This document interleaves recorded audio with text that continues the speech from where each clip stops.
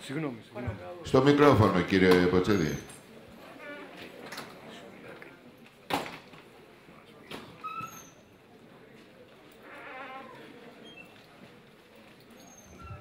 Εγώ είμαι μικροβιολόγος ε, στην εκπαίδευση και φαρμακολόγος. Πριν 15 χρόνια είχα την τιμή να δουλέψω με τον Γιάννη τον Ευσταθίου, όπου για περίπου 4-5 χρόνια έμαθα τι πάει να πει ομοιοπαθητικό φάρμακο. Μέσα σε αυτά τα χρόνια έμαθα ομολογώ πολλά. Και θυμάμαι μια φορά που είπε ότι μια μέρα, Χρήστο, το ομοιοπαθητικό φάρμακο θα σώσει το φαρμακοποιό του φαρμακείου. Και βλέπω ότι ο καιρός έχει έρθει. Ε, βλέπω όμως επίσης ότι εδώ υπάρχει κάποιο τεχνικό πρόβλημα και δεν θέλω να σας κουράσω. Θα προσπαθήσω να το... Όχι, όχι. Θα το παλέψουμε.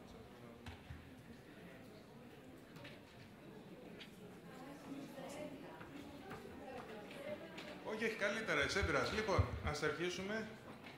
Ε, ο τίτλος σήμερα είναι το κανονιστικό πλαίσιο έγκρισης ομοιοπαθητικών φαρμάκων ανθρώπινης χρήσης. Τα λοιπά τα ξέρουμε. Δεν πιάνει ούτε το mouse εδώ πέρα. τώρα. Μισό λεπτάκι, θα έρθει. Έρχεται αμέσως. Ας πάμε στην ισχύουσα νομοθεσία. Θα μιλήσουμε για την αίτηση, για τη χορήγηση της άδειας κυκλοφορίας. Εδώ έχει πολύ διάβασμα, γιατί όπως ξέρετε εμείς ασχολούμαστε με κανονιστικές διαδικασίες, διαδικασίες υπάρχουν νομοθεσίες. Είναι βάση κοινοτικής οδηγίας Ευρωπαϊκής Ένωσης που μπορεί να αξιολογηθεί με την ειδική αποστευμένη διαδικασία. Κάποιες προϋποθέσεις υπάρχουν. Οι προϋποθέσεις είναι βάση του ΦΕΚ που βλέπουμε εδώ πέρα, του 2006, άρθρα 17 και 18, χορήγηση του φαρμάκου από το στόμα ή εξωτερική χορήγηση, απουσία ειδικής θεραπευτικής ένδειξης, να ακολουθεί τον ισχύοντα μηχανισμό κανονιστικών διαδικασιών. Το μηχανισμό. Η αξιολόγηση για το ομοιοπαθητικά φάρμακα ανθρώπινης χρήσης δεν διαφέρει με αυτή των άλλων φαρμάκων και διενεργείται σε τρία επίπεδα. Ποιότητα, πρώτες αραιώσεις ασφαλείας και αιτιολόγηση της ομοιοπαθητικής χρήσης. Όχι, εντάξει. Λίγο το mouse.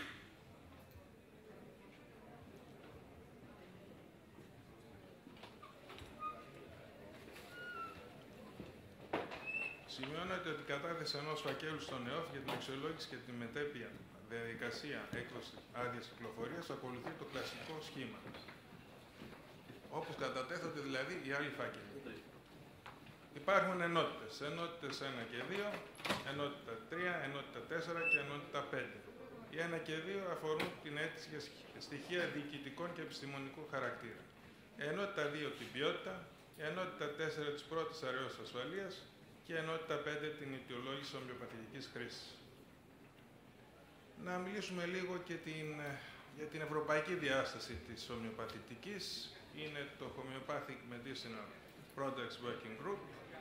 Ανήκει στην ομάδα των επικεφαλής των Εθνικών Αρχών Φαρμάκων και αποτελείται από τους ξεολογητές του ΕΟΦ στα 28 κράτη-μέλη.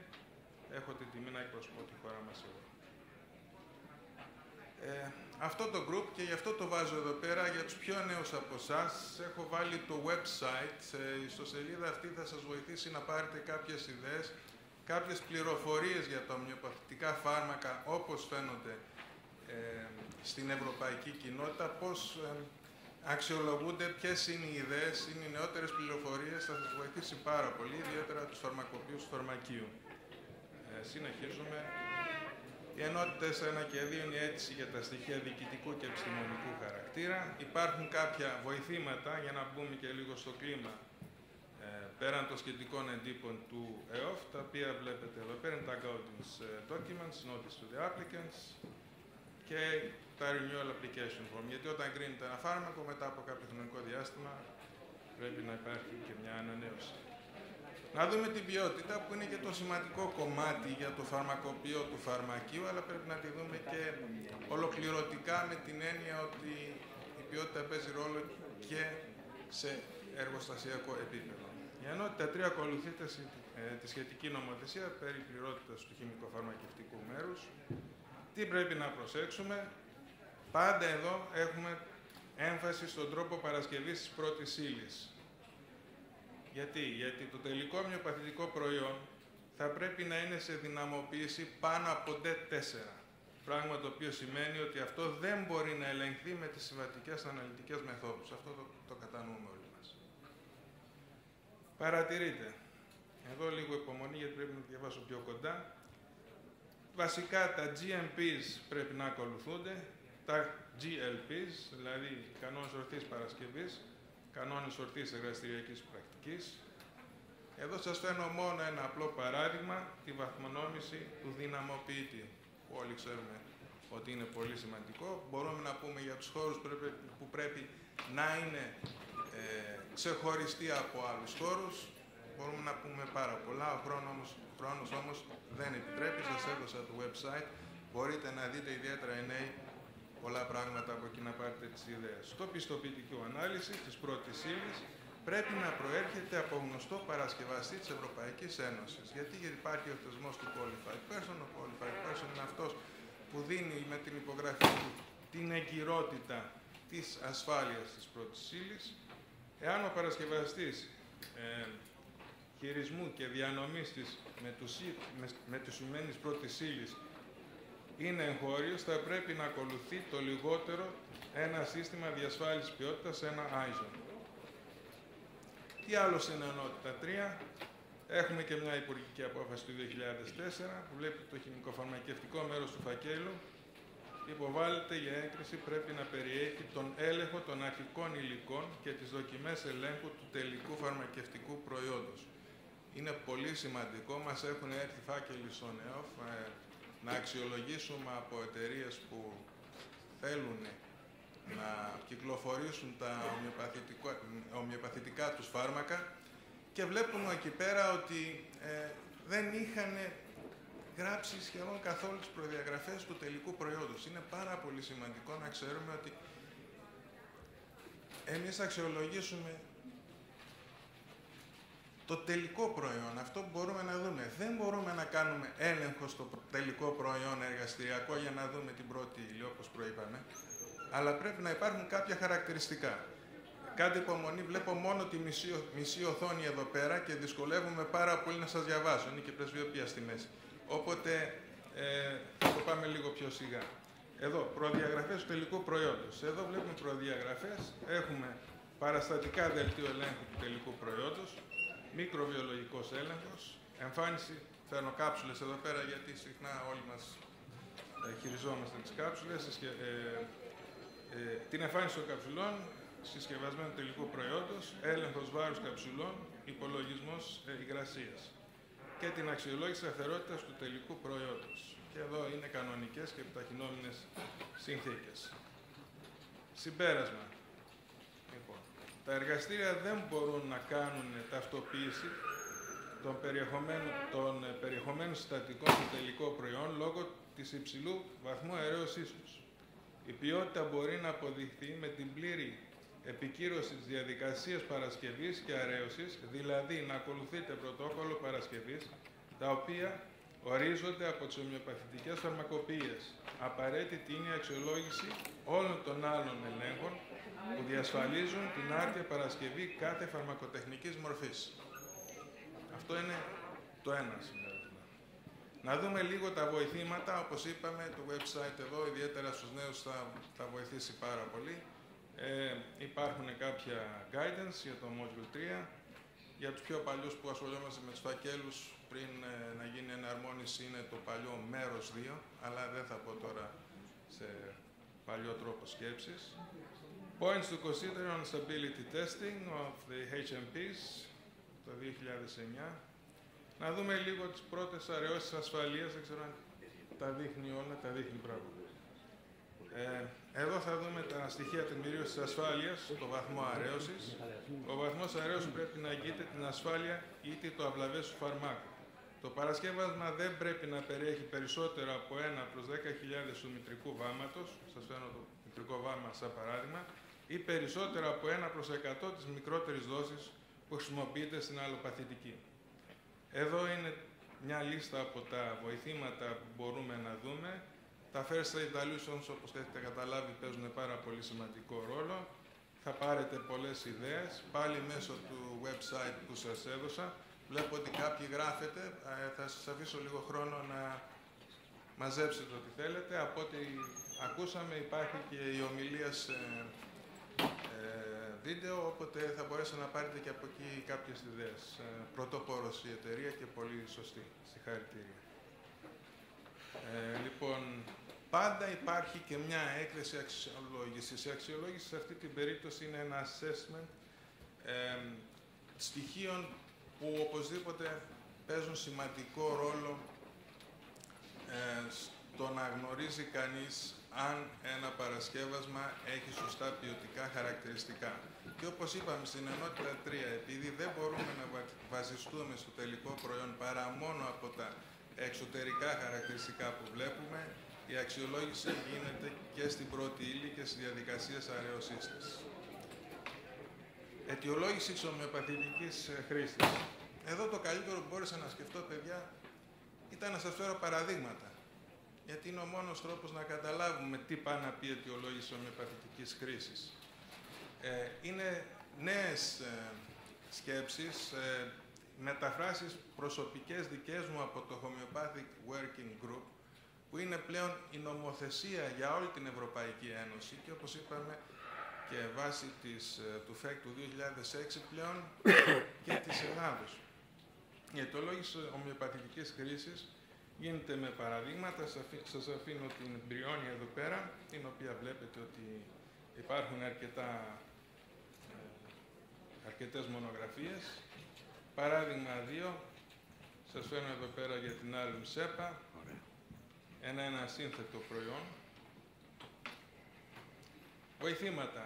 Εδώ υπάρχουν αρκετά βοηθήματα, πάλι στο website. Θα πρέπει να το δείτε, ιδιαίτερα εσείς φαρμακοποιοί του φαρμακείου, ε, γιατί μπορείτε να πάρετε κάποιες ιδέες για να μπορέσετε όταν έρθει η στιγμή και ο γιατρός σας συνταγογραφήσει το δικό σας γαληνικό φάρμακο που πρέπει να παρασκευάσετε. Ίσως να έχετε, ε, να θέλετε να σκεφτείτε και λίγο, οκ, το δίνω αυτό, ο γιατρός το έγραψε, ε, πόσο είμαι εγώ ε, σωστός ή σωστή, σαν φαρμακοποιός πλέον. Θα μπείτε στο website, θα πει, είμαι στην ομάδα εργασίας αυτή, ε, και που συναντιόμαστε στις Βρυξέλλες και αποφασίζουμε ποιες ομοιοπαθητικές πηγές μπαίνουν σε αυτή τη λίστα. Βάσει αυτής της λίστας θα δείτε τα, τις διάφορες πηγές, θα δείτε και τις διάφορες άρεως, θα πάρετε κάποιες ιδέες και θα είσαστε πιο σίγουροι και αυτό είναι στα πλαίσια της ολικής διαχείρισης ποιότητας των GLPs που με τα χαράς είδα ότι θα συζητηθεί αργότερα. Είναι κάτι που λίγοι πρωτοπόροι, όπως ε, οι κυρίες εδώ πέρα αρχίσαν πριν πολλά πολλά χρόνια και βλέπω ότι πλέον ε, είναι πράγμα στην καθημερινή πράξη και όπως εξελίσσονται τα πράγματα, ο φαρμακοποιός που ξέρει GLPs θα έχει τη δυνατότητα να έχει και αυτό το κάτι παραπάνω που χρειάζεται στις μέρες μας για να δώσει το σωστό ομοιοπαθητικό φάρμακο. Όποτε ε, εδώ μπορείτε να πάρετε κάποιες ιδέες. Ε, ήδη είμαστε στο second lift, στο ε, Justified ε, Stocks. Ε, ακολουθούμε τις διαδικασίες της Ευρωπαϊκής Ένωσης, όποτε μπορείτε να τα βρείτε τα Justified Stocks στην, στο website μας. ήδη είχαμε μια deadline στη 31 Ιανουαρίου του 2014. Ε, να πούμε και λίγο για το ΦΟΧ. Ε, το ΦΟΧ είναι κάτι το οποίο είναι απαραίτητο άμα είναι ιδιοσκεύασμα και που έρχεται από ένα παραγωγό ε, και ο φαρμακοποιός ίσως να χρειαστεί να ξέρει κάποια πράγματα που έχει γράψει η εταιρεία. Ε, αυτό εδώ έχει να κάνει με την ε, ονομασία της ε, πηγής, την οδό χορήγησης, ε, διεύθυνση, πληροφορίες για το προϊόν, συμπλήρωση των ετικετών, ε, να αναφέρετε ότι το προϊόν είναι χωρίς θεραπευτικές ενδείξεις, ε, ειδικές προφυλάξεις για τη φύλαξη. Τώρα, είναι ένα καινούριο κομμάτι που θέλω να, έτσι, να φέρω την προσοχή σας, τη συσχέτιση της ομοιοπαθητικής με άλλες κοινοτικές διαδικασίες. Βλέπετε, η ομοιοπαθητική δεν είναι κάτι το οποίο, εντάξει, το πήραμε, το φτιάξαμε, κάναμε τις φτάσαμε στο τελικό ομοιοπαθητικό προϊόν και θα το δώσουμε στον ασθενή μας. Δεν είναι μόνο. Στο μικρόφωνο, αν έχετε την Ναι, ναι, καλοσύνη. συγγνώμη, μπαίνω... Δεν θα γραφτεί Ναι, ναι, ο ήχος όχι. σας γι' αυτό. Δεν είναι μόνο αυτό, ότι ο φαρμακοποιός το παρασκευάζει στο φαρμακείο και θα το δώσει στον ασθενή. Δεν είναι μόνο αυτό. Εδώ σας φέρνω δύο σημαντικά παραδείγματα πρέπει να λάβουμε υπόψη. Την φάρμακο επαγρύπνηση. Υπάρχει ένα σύστημα στην Ευρώπη που γίνονται καταχωρήσεις για τα αλλοπαθητικά φάρμακα, αρχίζει και για τα ομοιοπαθητικά. Εδώ πέρα θέλω να σας πω κάτι για το Rapid Alert και είναι πάρα πολύ πρόσφατο και μου κάνει ιδιαίτερη εντύπωση, γι' αυτό παίρνω το θάρρος να το μοιραστώ μαζί σας. Ε, μια αναφορά ενός αμερικάνικου ομοιοπαθητικού φαρμάκου με επιμόλυνση από αντιβιωτικό. Δηλαδή, καταλαβαίνετε τι είχε γίνει. Μια εταιρεία πήγε να φτιάξει ένα ομοιοπαθητικό φάρμακο, δεν έκανε, δεν ακολούθησε τους σωστούς κανόνες, δεν έκανε σωστή, σωστό καθαρισμό του χώρου, ο μη σωστός καθαρισμός του χώρου επιμόλυνε άλλον χώρο που γινόταν παρασκευή ομοιοπαθητικών φαρμάκων.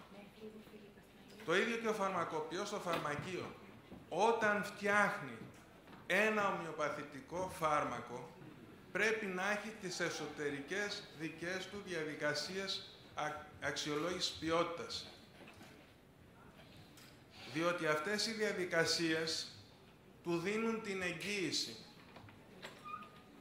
Του δίνουν την εγγύηση ότι το προϊόν το οποίο θα δώσει στον ασθενή του είναι ένα προϊόν να κάνουμε και λίγο χώρο. Κάνε ένα πρόβλημα, παρακαλώ. Μην ανησυχείτε καθόλου.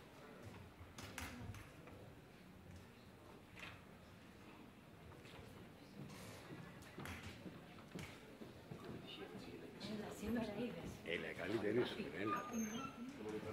Έτσι για το φτάνω προς το τέλος εγώ. Δηλαδή, αυτό που θέλω να πω είναι το εξής. Ο φαρμακοποιός στο φαρμακείο που έχει ένα δικό του ομοιοπαθητικό εργαστήριο και καλείται να φτιάξει ένα ομοιοπαθητικό σκεύασμα ως γαλλικό, θα πρέπει να είναι σίγουρος ότι είναι, σ- έχει σ- όχι μόνο αυστηρές, standardized procedures, τυποποιημένες διαδικασίες, οι οποίες του επιτρέπουν να φτιάξει ένα σωστό φάρμακο. Είναι πολλοί που λένε ότι το ομοιοπαθητικό δεν είναι φάρμακο. Εάν δεν ήταν φάρμακο, γιατί υπάρχουν τόσοι; Και γιατί κάνει τόσο καλή δουλειά; Να κάτσουμε να το δούμε και από αυτή την πλευρά.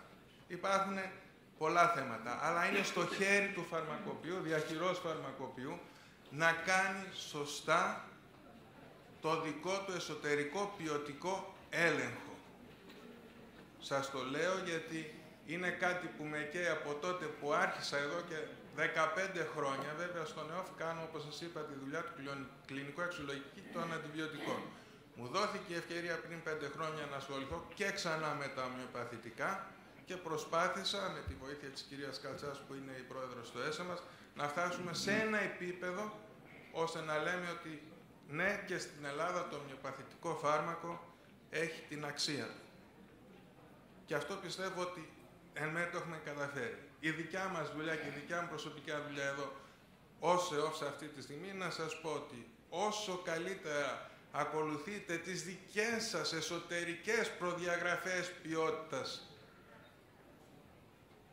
τόσο καλύτερο θα είναι το φάρμακο. Σκεφτείτε τις καψουλιέρες σας. Είναι εντάξει; Σκεφτείτε τις πρώτες ύλες που πήρατε. Είναι τα, εντάξει, σκεφτείτε τις δυναμοποιήσεις σας, τις κρούσεις σας, τις ταχύτητές σας. Κάνετε μια σωστή πράξη φαρμακοποιού. Εάν αυτά τα σταντάρετε, αν αυτά τα τυποποιήσετε, θα έχετε τη δυνατότητα να δώσετε το καλύτερο δυνατόν φάρμακο και sorry που πάω ξανά στο ίδιο και το ίδιο, αλλά είναι κάτι που ο μέντοράς μου ε, με, μου εμπλούτησε και θέλω και εγώ με τη σειρά μου να το μεταφέρω σε εσάς. Λοιπόν, για να δούμε εδώ πέρα. Είπαμε πρεσβειοποία, συγγνώμη παιδιά. Είναι και μισή οθόνη. Όπως βλέπετε.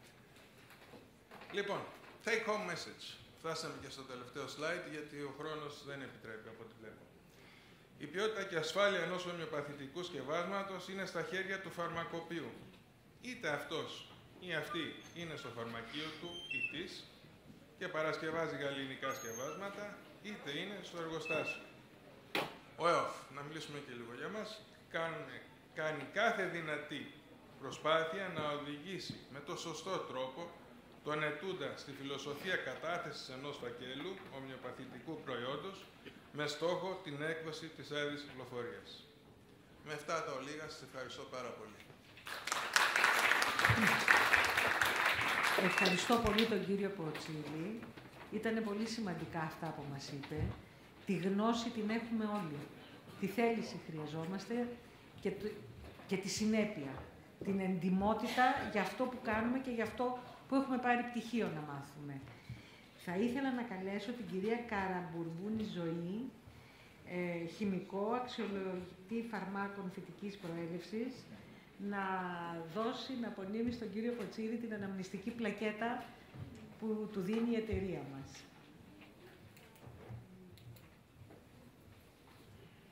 Καλημέρα. Εγώ είμαι αξιολογήτρια στο ΝΕΟΦ.